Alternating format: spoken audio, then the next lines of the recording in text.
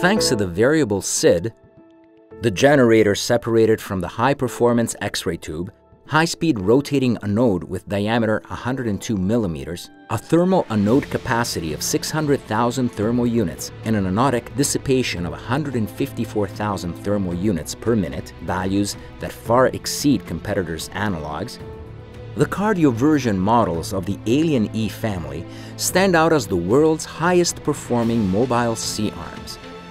They are one of a kind.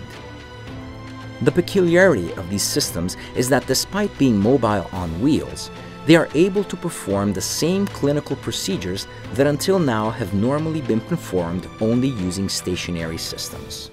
All this thanks to a very deep arm that has the ability to move on five axes, unique in the world, ensuring total isocentrism on all projections.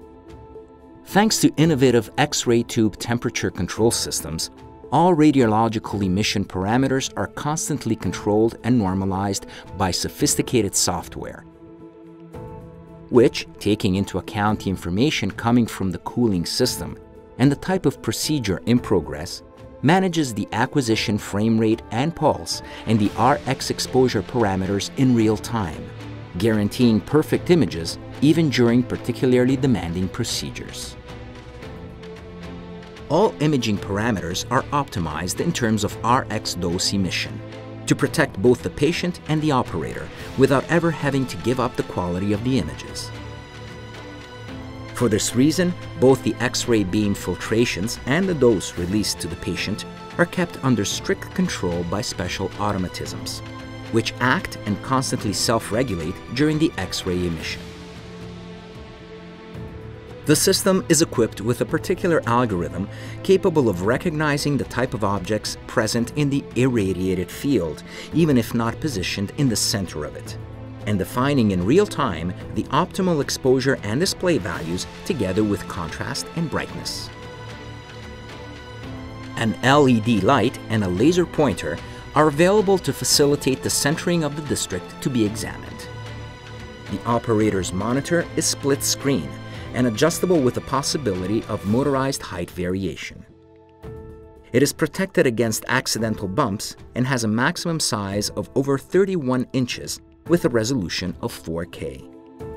The management of the entire system is guaranteed by two 15.6-inch touchscreen displays, which, in addition to displaying images, can control the functions of the entire system. The additional interfaces, both the multifunctional foot switch and the console equipped with joysticks, use the wireless connection. This increases safety and makes sanitization easier. The two touchscreen displays are synchronized, but they can also work asynchronously to optimize times within the operating room and facilitate work even in the presence of a double operator. One display is positioned on the C-arm, while the second, located in the rear part of the monitor trolley, ensures that the technologist will work in total safety, away from the sterile field and from ionizing radiation while maintaining total control over the system, both hardware and software.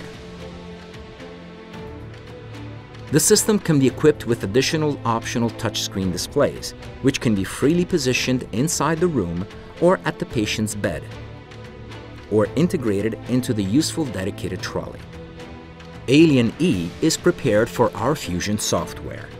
Thanks to the work of the company's internal research and development department, Eurocolumbus is currently the only company that can boast this technology integrated with the software managing a mobile system. The application software, complete with all standard packages including full DICOM connectivity, works in a Linux environment and is supported by top-level hardware.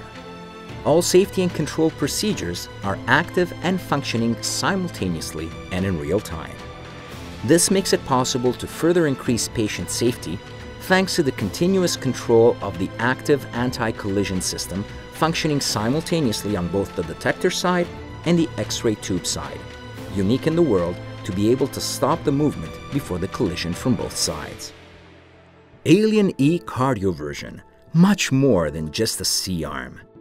Why not test it in your operating room?